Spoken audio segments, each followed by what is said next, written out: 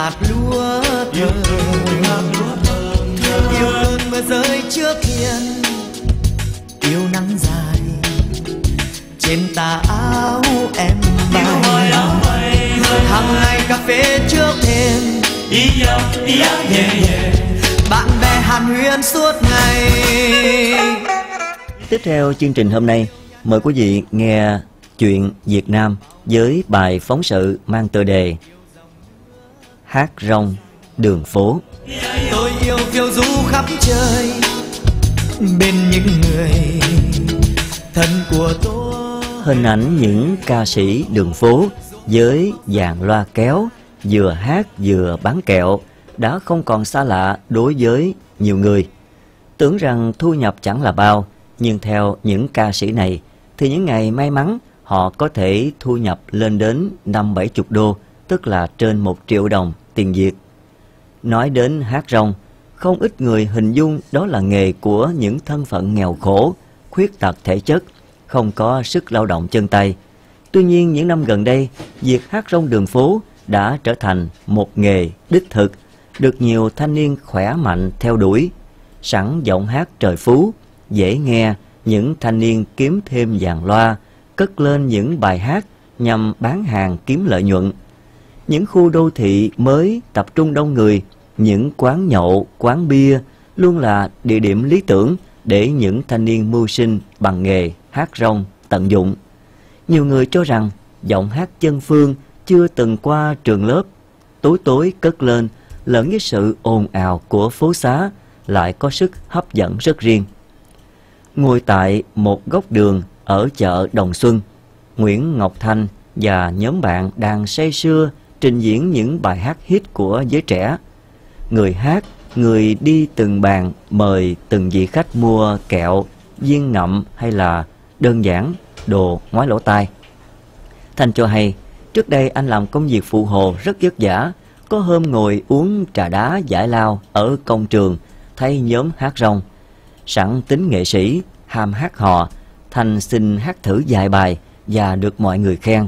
Sau đó trò chuyện, Thanh tin rằng có thể mưu sinh bằng nghề này, thù lao không kém thợ xây mà đỡ nặng nhọc hơn nên quyết định chuyển nghề. Sau đó Thanh xin số điện thoại để hỏi hàng cách thức thì được chính nhóm hát đó mời về hát cùng, bao ăn bao ở và trả tiền lương, dùng dụng cụ có sẵn của nhóm. Mỗi tối, tùy doanh thu mà người đứng đầu chi trả thù lao cho ca sĩ.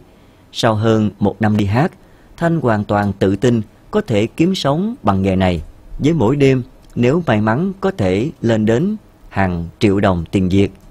Thanh cho hay, vừa hát vừa bán hàng, khách mua hàng thường đưa tiền chẳng rồi cho luôn số tiền dư. Họ mua hàng không phải vì cần đến món hàng đó mà mua để khích lệ, mua vì yêu thích giọng hát của người ca sĩ. Như vậy, trừ những ngày trời mưa, mỗi tối từ 10 giờ đến 10 giờ, Thanh cùng nhóm bạn lại dạo qua vài địa điểm tính từ trước, cất lên giọng ca và bán hàng. Một ca sĩ khác xuất thân từ đất Hòa Bình, Việt Hoàng sinh năm 1991 với thâm niên trong nghề hơn một năm cho biết, có những đêm Hoàng hát đến 60 bài.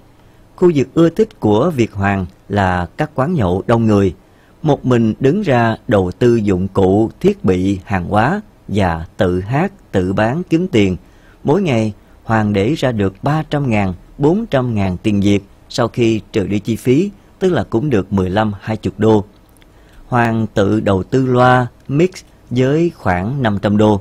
Hàng hóa bán phần lớn là kẹo, với giá mua vào khá rẻ. Hoàng cho hay, nhiều hôm hát xong, khàn cả tiếng, về phải uống thuốc mới đỡ. Hoàng nói, nếu à, hát hay, hát đúng tâm trạng và truyền cảm đến người nghe, khách còn có thể cho thêm tiền nữa, còn đề nghị hát đi hát lại. Hoàng cho biết thêm, nghề hát rong đường phố mỗi đêm, đi mỗi nơi khác nhau, không thể hát nhiều ở một nơi cố định vì rất dễ gây nhàm chán và khó chịu cho mọi người. Tuy nhiên, đi đến nơi khác hát cũng phải cẩn thận vì khu vực nào là của người đó, không được xâm phạm lẫn nhau. Theo Hoàng, nghề gì cũng cần năng khiếu, nhất là hát hò. Năng khiếu chính là chất giọng, độ dài hơi, thậm chí là cả cách trò chuyện và dẫn dắt khán giả để tạo được sự gần gũi và vui vẻ cho khách. Mỗi ngày trước khi đi hát, các thành viên đều bỏ thời gian để tập luyện. Mọi người truyền lại kinh nghiệm cho nhau. Hoàng cho biết khi hát phải tự tin và có cảm xúc. Nhiều người có chất giọng tốt, hát hay, nhưng khi đứng trước đám đông lại hết sức lúng túng, câu hát vô hồn, tay run, không luyến lái nổi. Rồi Hoàng nói, phải xác định tâm lý là đây là nghề nghiệp lương thiện, chính đáng, bỏ sức lao động chứ không phải ăn xin như nhiều người tưởng. Bên cạnh đó, muốn hát hay cần phải lưu ý chọn bài hát phù hợp với chất giọng, không quá cao, không quá luyến lấy, hơi dài bởi không có ai hát hay tất cả các thể loại nhạc. Rồi Hoàng giải thích, cũng là một bài, không phải cứ thấy ca sĩ hát hay là mình hát cũng hay đâu. Hoặc là không thể mình hát mình thấy hay thì người khác cũng thấy hay. Nói thêm về cách hát, Thành cho biết khi đến nhóm, mọi người tụ hợp nhau trọ ở đường Kim Đồng. Ở đó có người đi trước, hướng dẫn cách lấy hơi, cách luyến lấy, cách hát cho người chưa quen. Rồi Thanh kể, trong nhiều câu hát á, nếu dài quá, không đủ hơi thì có thể hát được dẫn đến đuối hoặc là ngắt câu thành vô nghĩa. Có những kỹ thuật như lấy hơi trộm, lấy hơi ngắn, ém giọng, cướp hơi. Nếu luyện được thì giọng hát cũng đỡ phô hơn khi à, chỉ hát theo bản năng. Nói về mánh khóe nghề nghiệp, đôi khi Việt Hoàng cũng phải hát nhép gì, mệt quá chịu không nổi. Hoặc là những hôm đang bệnh dở mà phải hát quá nhiều. Tuy nhiên, theo Hoàng, đây là việc cực chẳng đã, nếu bị phát giác thì sẽ mất đi uy tín, trừ trường hợp không thể có lựa chọn nào khác thì mới phải sử dụng, còn nếu không thì hãy phải hát live cho dù là bữa đó. Đuối.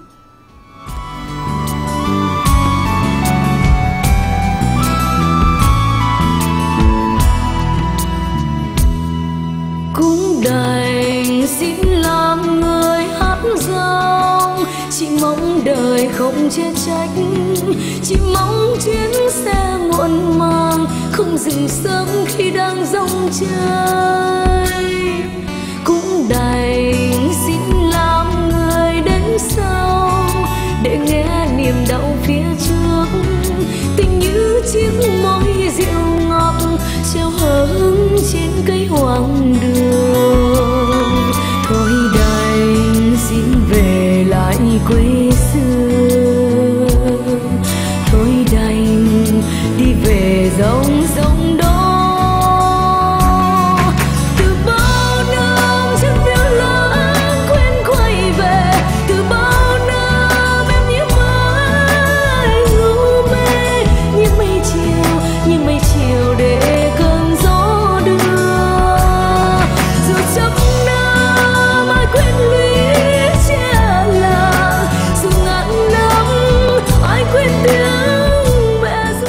Vừa rồi là một phần của bài phóng sự trong tiết mục Chuyện Việt Nam.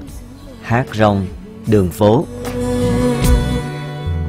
Kiếp này xin làm người hát rong, Để cho tình yêu lên tiếng, Để cho trái tim bội bạc không còn đêm